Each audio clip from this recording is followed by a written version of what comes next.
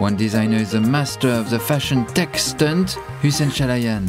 In 1999, model Audrey Marnay opened the Hussein Chalayan show with a white metallic dress built like a spaceship.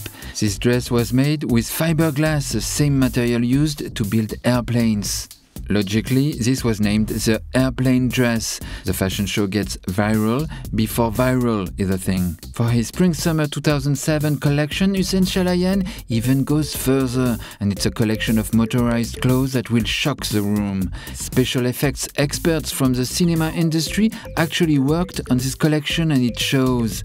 And the pièce de résistance is when the model approaches the table, takes off a circle of wood, and Voila, a dress. Got to love the moment when the table legs swoosh back inside.